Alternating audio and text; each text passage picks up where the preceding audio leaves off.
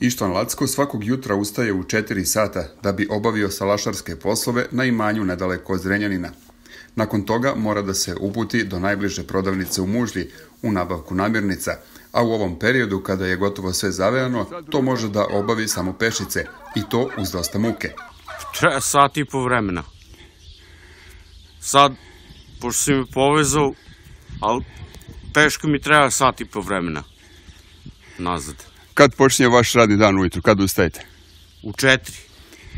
I onda? I u pet idemo i od pet do osam radimo, posle podne od tri do pet. Šta se sve radi sad? Samo začišćavamo, čistimo.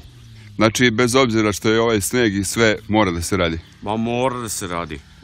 Pa Jel teško? Jel teško? Pa nije teško, znaš, ono, uradi se. Samo malo je teško, ujutro je malo teško, znaš, pošto je po mraku idemo. Na komšinskom imanju sve probleme nastoji se da se probije do njiva i obave neophodni poslovi. Nemoj dilu. Nemoj dile, a? Ovo je muka. A da.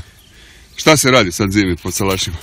Pa sad se ne radi ništa i pokušat ćemo da upalimo traktor, da bacimo prihod Aha. napolje skroz. Stojka baš se ne snalazi po ledu. Pa teško mu je ovo. Slajfuje.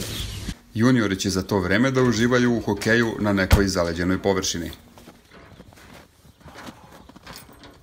Na samo desetak minuta od Zrenjanina u prostranoj ravnici ušaškano je nekoliko ovih imanja. Iako deluju pusto i zavejano, život na njima je veoma dinamičan.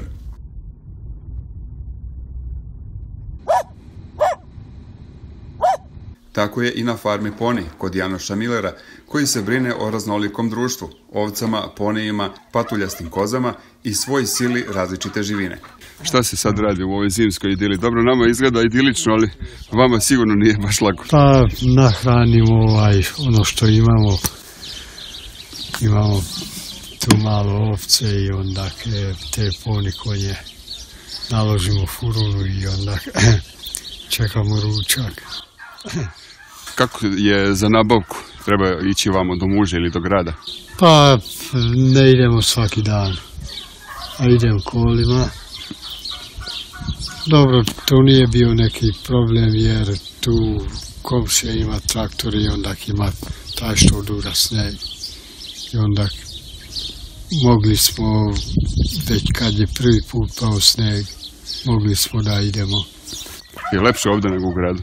Pa, tako da ne. Čistije vazduh, a i hladnije.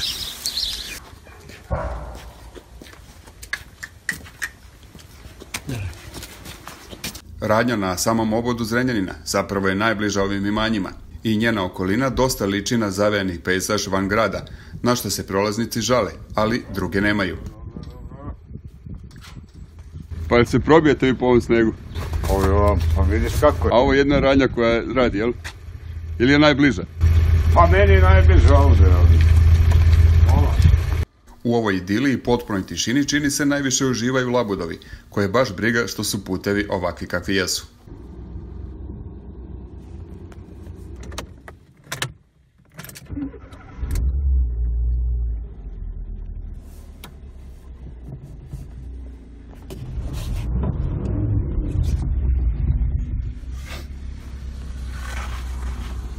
Povratkom u grad nailazimo i na najmlađe, koji nemaju ništa protiv snega.